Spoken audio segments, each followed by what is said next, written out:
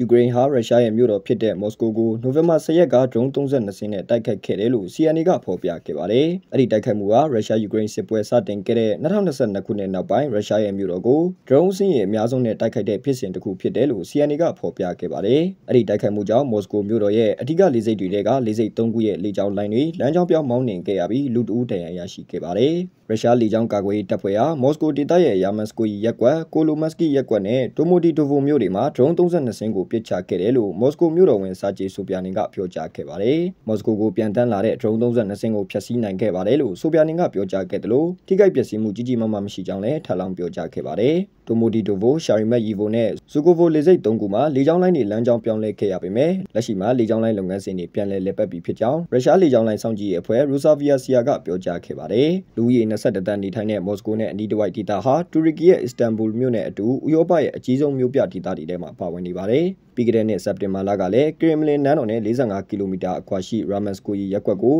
ယူကရိန်းကဒရုန်းတွေနဲ့တိုက်ခိုက်ခဲ့ပြီးရုရှားလေကြောင်းကာကွယ်ရေးတပ်ဖွဲ့တွေကယူကရိန်းဒရုန်းအစင်း20ကိုဖျက်ဆီးနိုင်ခဲ့ပါတယ်။ ယူကရိန်းစစ်ပွဲအားနှစ်နှစ်ခွဲကျော်ကြာမြင့်လာချိန်မှာရုရှားတပ်ဖွဲ့တွေကယူကရိန်းစစ်မြေပြင်မှာအသာစီးရခဲ့တဲ့နောက်စစ်ပွဲရဲ့နောက်ဆုံးအဆင့်ကိုဝင်ရောက်လာပြီလို့ခန့်မှန်းရကြောင်းကျွမ်းသူတွေကပြောကြားခဲ့ပါတယ်။လာမယ့်နှစ်ဇန်နဝါရီလမှာအမေရိကန်သမ္မတတာဝန်ကိုစတင်ထမ်းဆောင်မဲ့ဒေါ်နယ်ထရန့်ကတော့သူသမ္မတအဖြစ်စတင်တာဝန်ယူတဲ့အချိန်ကစပြီး24နာရီအတွင်းယူကရိန်းစစ်ပွဲကိုအဆုံးသတ်ပေးနိုင်တယ်လို့ပြောကြားခဲ့ပါတယ်